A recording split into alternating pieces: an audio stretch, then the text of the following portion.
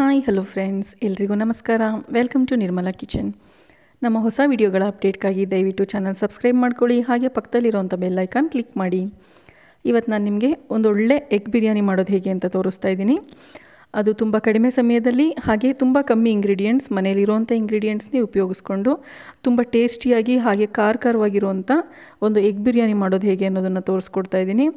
ಬನ್ನಿ, ಅದಕ್ಕೆ ಬೇಕಾಗಿರೋ ಇಂಥ ಇಂಗ್ರೀಡಿಯೆಂಟ್ಸ್ ಏನು, ಮತ್ತು ಹೇಗೆ ಮಾಡೋದು ಅನ್ನೋದನ್ನು ನೋಡ್ಕೊಳ್ಳೋಣ.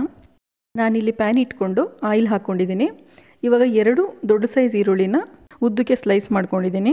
ಇದನ್ನು ಇವಾಗ ಚೆನ್ನಾಗಿ ರೋಸ್ಟ್ ಮಾಡ್ಕೋಬೇಕು. ಫ್ರೈಡ್ ಆನಿಯನ್ ಮಾಡ್ಕೊಳ್ಳೋದಕ್ಕೋಸ್ಕರ ಇದನ್ನು ಹಾಕ್ಕೊಂಡಿರೋದು ಸೊ ಇದನ್ನು ಫುಲ್ಲು ಗೋಲ್ಡನ್ ಬ್ರೌನ್ ಕಲರಿಗೆ ಬರೋವಷ್ಟು ಫುಲ್ ಕ್ರಿಸ್ಪಿ ಆಗಬೇಕು.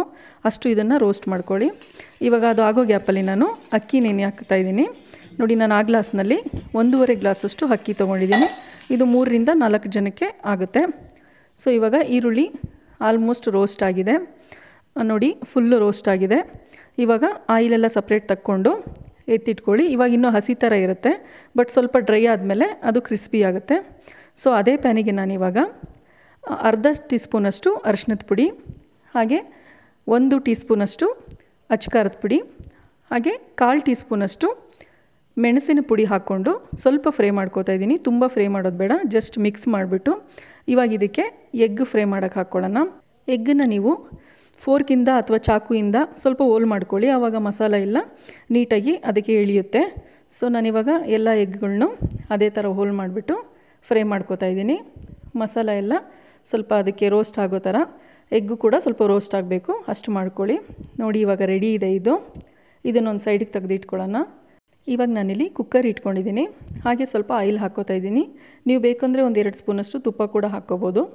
ಸೊ ಆಯಿಲ್ ಕಾಯೋ ಅಷ್ಟರಲ್ಲಿ ನಾನಿಲ್ಲಿ ಮಸಾಲ ರೆಡಿ ಮಾಡ್ಕೋತೀನಿ. ನಾನಿಲ್ಲಿ ನೂರರಿಂದ ನೂರೈವತ್ತು ಗ್ರಾಮಷ್ಟು ಮೊಸರು ತೊಗೊಂಡಿದ್ದೀನಿ. ಇದಕ್ಕೆ ಒಂದು ಸ್ಪೂನಷ್ಟು ಅಚ್ಚಕಾರದ ಪುಡಿ, ಹಾಗೆ ಅರ್ಧ ಸ್ಪೂನಷ್ಟು ಅರ್ಶಿನದ ಪುಡಿ, ಮತ್ತು ಒಂದು ಸ್ಪೂನಷ್ಟು ಧನಿಯಾ ಪೌಡರು, ಹಾಗೆ ಒಂದು ಸ್ಪೂನಷ್ಟು ಬಿರಿಯಾನಿ ಪೌಡರ್ ಆ್ಯಡ್ ಮಾಡಿಕೊಂಡು ಇದನ್ನು ನೀಟಾಗಿ ಮಿಕ್ಸ್ ಮಾಡ್ಕೊಳ್ಳೋಣ. ಇದಕ್ಕೆ ಯಾವುದೇ ಮಸಾಲ ರುಬ್ಕೊಳ್ಳೋ ನೆಸಿಟಿ ಇಲ್ಲ.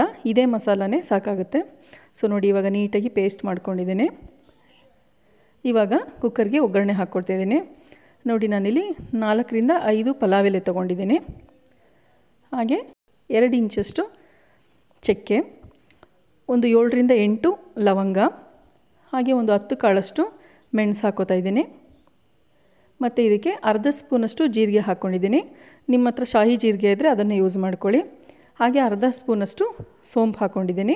ಸೊ ಇದೆಲ್ಲ ಸ್ವಲ್ಪ ಘಮ ಬರೋವರೆಗೂ ಹುರ್ಕೊಳ್ಬೇಕು. ಇದೆಲ್ಲ ಹುರ್ಕೊಂಡ್ಮೇಲೆ ಎರಡು ಮೀಡಿಯಮ್ ಸೈಜ್ ಈರುಳ್ಳಿನ ಕಟ್ ಮಾಡ್ಕೊಂಡಿದ್ದೆ. ಅದನ್ನು ಕೂಡ ಹಾಕ್ಕೊಂಡು ಫ್ರೈ ಮಾಡ್ಕೋತಾ ಇದ್ದೀನಿ. ಈರುಳ್ಳಿ ಎಲ್ಲ ಸ್ವಲ್ಪ ಗೋಲ್ಡನ್ ಬ್ರೌನ್ ಬರೋವಷ್ಟು ಫ್ರೈ ಮಾಡ್ಕೊಳ್ಳೋಣ.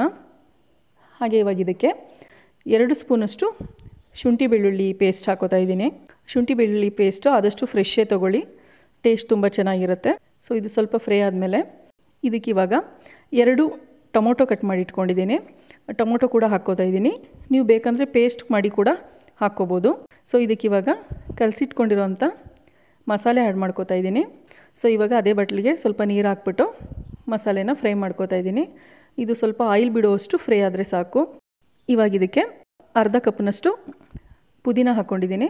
ಹಾಗೆ ಒಂದು ಕಾಲು ಕಪ್ನಷ್ಟು ಕೊತ್ತಂಬರಿ ಸೊಪ್ಪು ಹಾಕೋತಾ ಇದ್ದೀನಿ. ಇದನ್ನೆಲ್ಲ ನೀಟಾಗಿ ಮಿಕ್ಸ್ ಮಾಡ್ಕೊಳ್ಳಿ. ನೋಡಿ, ಇವಾಗ ನೀಟಾಗಿ ಎಣ್ಣೆ ಎಲ್ಲ ಬಿಟ್ಕೊಂಡಿದೆ. ಸೊ ಇದಕ್ಕೆ ಇವಾಗ ನಾನು ಅಕ್ಕಿ ಹಾಕ್ಕೋತಾ ಇದ್ದೀನಿ. ಒಂದೂವರೆ ಗ್ಲಾಸಷ್ಟು ಅಕ್ಕಿನ ತೊಳೆದು ನೆನೆಸಿಟ್ಕೊಂಡಿದ್ದೆ. ಸೊ ಇವಾಗ ಅಕ್ಕಿ ಹಾಕ್ಕೊಂಡು ಇದನ್ನು ನೀಟಾಗಿ ಮಿಕ್ಸ್ ಮಾಡ್ಕೋಬೇಕು. ಮಸಾಲೆ ಎಲ್ಲ ಅಕ್ಕಿಗೆ ಇಳಿಬೇಕು. ಆವಾಗಲೇ ಅದು ಉಡುಡಿಯಾಗಿ ಕೂಡ ಆಗುತ್ತೆ. ಈ ಥರ ಮಾಡೋದ್ರಿಂದ ಉಡುಡಿಯಾಗುತ್ತೆ ಹಾಗೆ ಟೇಸ್ಟ್ ಕೂಡ ತುಂಬ ಚೆನ್ನಾಗಿರುತ್ತೆ. ಸೊ ಇವಾಗ ನಾನು ನೀರು ಹಾಕ್ಕೊಳ್ತಾ ಇದ್ದೀನಿ.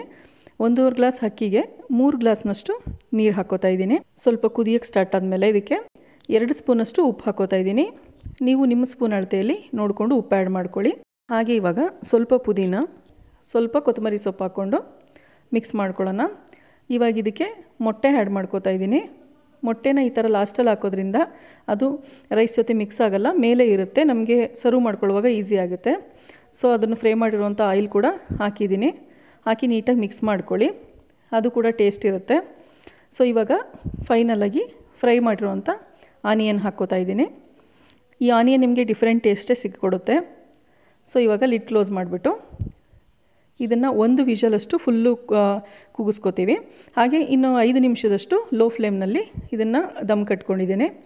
ಸೊ ಇವಾಗ ಓಪನ್ ಮಾಡ್ತಾಯಿದ್ದೀನಿ ಫುಲ್ಲು ವಿಷಲೆಲ್ಲ ಬಿಟ್ಟಿದೆ. ಸೊ ನೋಡಿ ಎಷ್ಟು ಚೆನ್ನಾಗಾಗಿದೆ. ಅನ್ನ ಕೂಡ ಉದ್ರುದ್ರಾಗಿದೆ ನಾನಿಲ್ಲಿ ಒಂದು ಗ್ಲಾಸಷ್ಟು ಸೋನಾ ಮಸೂರಿ, ಹಾಗೆ ಅರ್ಧ ಗ್ಲಾಸಷ್ಟು ನಾರ್ಮಲ್ ಅಕ್ಕಿ ಹಾಕಿದ್ದೆ. ಸೊ, ನೋಡೋದಕ್ಕೂ ತುಂಬ ಚೆನ್ನಾಗಿದೆ. ಹಾಗೆ ಟೇಸ್ಟ್ ಕೂಡ ತುಂಬ ಚೆನ್ನಾಗಿರುತ್ತೆ. ಬನ್ನಿ, ಪ್ಲೇಟಿಗೆ ಸರ್ವ್ ಮಾಡ್ಕೊಂಡಿದ್ದೀನಿ. ನೋಡಿದ್ರಲ್ಲ ಎಗ್ ದಮ್ ಬಿರಿಯಾನಿ ರೆಡಿ ಇದೆ. ನಿಮಗೆ ಸೇಮ್ ರೆಸ್ಟೋರೆಂಟ್ಗಳಲ್ಲಿ ಸಿಗುವಂಥ ಎಗ್ ಬಿರಿಯಾನಿ ಟೇಸ್ಟೇ ಸಿಗುತ್ತೆ. ನೀವು ಇದನ್ನು ರಾಯ್ತಾ ಜೊತೆಗೆ ಅಥವಾ ಚಿಕನ್ ಫ್ರೈ ಅಥವಾ ಎಗ್ ಕುರ್ಮಾ ಆ ಥರ ಕಾಂಬಿನೇಷನಲ್ಲಿ ತಿನ್ಬೋದು. ತುಂಬ ಟೇಸ್ಟಿಯಾಗಿರುತ್ತೆ ಸೊ ನೀವು ಕೂಡ ಟ್ರೈ ಮಾಡ್ತೀರಲ್ಲ? ಹಾಗಿದ್ರೆ ನೀವು ಟ್ರೈ ಮಾಡಿ ಹೇಗಿದೆ ಅಂತ ನನಗೆ ಕಮೆಂಟ್ ಮಾಡಿ ತಿಳಿಸಿ. ನಮ್ಮೆಲ್ಲ ವಿಡಿಯೋನು ಹೀಗೆ ನೋಡ್ತಾ ಇರಿ ಸಪೋರ್ಟ್ ಮಾಡ್ತಾಯಿರಿ ಥ್ಯಾಂಕ್ ಯು